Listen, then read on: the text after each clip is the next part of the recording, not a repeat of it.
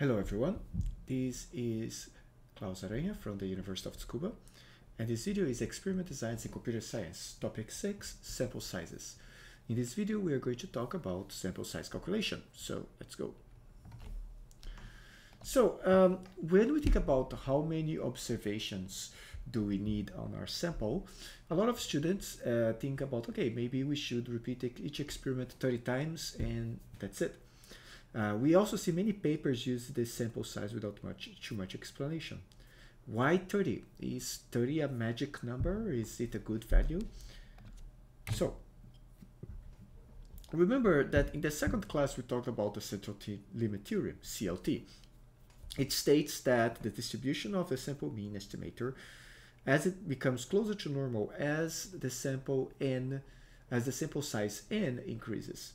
When this n is bigger than 30, the CLT holds, which means the sample means follow a normal distribution for most cases, except some very extreme cases of non-normality. This is important because many test statistics require the assumption of normality. So this is why a lot of people recommend 30, 30 repetitions. Other than however, other than potentially guaranteeing the estimator is a normally distributed random variable, uh, there's nothing special about 30 repetitions. In particular, n equals to 30 does not guarantee anything about the power or the confidence of the experiment as we discussed last uh, in the last video. So even if you choose n equals to 30, you still need to perform power calculations to know exactly what's the power of your experiment if your experiment costs money, sometimes you can have the same power and confidence with a smaller sample size uh, for a cheaper experiment. So it's important to think about uh, what is the appropriate sample size for ex your experiment and not just use n equals to 30 blindly. So to test the sample size for it, it will depends on what kind of test we are doing to, to calculate the sample size. If you think about one sample test, the very first test that we describe in the lecture, the sample size calculation is related to the power calculation. So if we fix the value of power and the value of delta, the uh, value of relevance, the calculation of the power t-test will give us the minimum sample size. So going back to the example in the last video, let's say that we have standard deviation 1 that we know a priori or we calculated using a preliminary test. And then we have our significance level, which will be our alpha. Uh, the type of test, which is one sample, the alternative, one-sided, and then we have the desired power and the desired delta. And this gives us the uh, sample size calculation. In this case, n is 47.98. We round this value up, which means that for this experiment, under these conditions, we need 48 uh, observations in our sample. Okay, so we need 48 observations to detect a one-side effect of delta equal to 0.5 or more on the mean with a power level of 0.85. What if we have two means? Okay, what if we are comparing two samples? So what do we do? Uh, let's consider similar parameters. So the desired significance in this case will be 0.05. The desired power, 1 minus beta, is 0.8. The effect size, the difference between the two samples that we want to detect is at least delta equal to 15, uh, but we don't know the variance of the samples. So how do we calculate the sample size in this case? The calculation of the sample size follows this formula. Uh, the idea is that if both samples have approximately equal variances, the sample size ratio, the optimal ratio of sample sizes would be n1 equal n2 equal n. And this is an observation that is very important.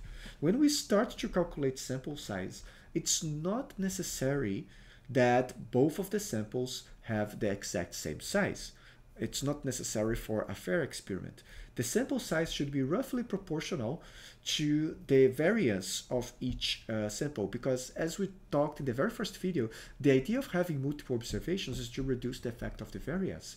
So samples with larger variance, we want to have larger sample size. In this case, we are assuming that they are approximately equal variances, so we have approximately equal sample sizes. And the sample size n is calculated as 2 times the t um, the t percentile of alpha 2 to n plus the beta t beta percentile divided by d, where d is delta divided by sigma. however, in this case, we don't know the sigma. Um, and also, we need to calculate this t, which is the percentile of the t distribution. And if you notice, it this t requires a parameter that is the degree of freedom, which is n. So to calculate n, we need the value of n. So what we do here in terms of calculation, what is done is a uh, interactive approach where we define an initial value for n and we iterate on this formula until the formula converges. Of course, when we use uh, some uh, calculation from a library in R or in Excel or in Python, this is done for us. But it's interesting to know how the calculation is performed. So back to the original sample, if we estimate the standard deviation to be equal to 15, we would calculate the sample size as delta, so that's our difference, 15, the standard deviation is also 15. The significance level is 5, the powers is 0.8, and here we are using two samples with one-sided alternative. When we plug this into the power of t-test formula, we have that our n is 13, okay, or actually 14 because we round up. So for each sample, we only need 14 observations. Okay, so this is interesting. We don't need necessarily 30. Uh, we can need the less observations in a sample. Um, so that's one of the benefits of calculating the precise sample size. The power calculation formulas and functions, they are convenient, but they leave us with a problem. We need a variance. So in the last formula, we need a variance to calculate the sample size, but we need to do an exper experiment to estimate the variance. So what do we do? How do we obtain the variance without having an experiment in the first place? There are a few options. Here are some ideas of what can be done. We can use knowledge about the process. For example, we can look at the literature to see what was the, the, the variance observed in the past. We can use an estimator to calculate the sample size. Or we can use a pilot study so a pilot study is an initial study which the objective is to just uh, calculate the variance.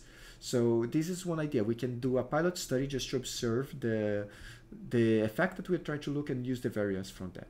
Each of these approaches has the advantages and drawbacks, and it's interesting to think about what are the positives and the negatives for each of these approaches.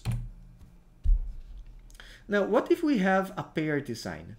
If we have a, pair, a comparison of two means under a pair design, well, pair designs, as we discussed before, they have higher power and confidence uh, than regular two sample comparison, which means that usually they can, they can use smaller sample sizes for equivalent power especially when the variation between the units is uh, relatively high, as the example that we saw in lecture number four. Take a second look at lecture number four and you notice that the variation between the pairs is relatively high. So if the within level variation is given by sigma epsilon and the between units variation is sigma u, so sigma u is the variance between the different observations, and the sigma epsilon is the depth variance between the different, uh, um, how do you say, the different treatments that we have. So in this case, we have the power can be calculated, the difference, the, the proportion between unpowered sample size and power sample size is given by this formula.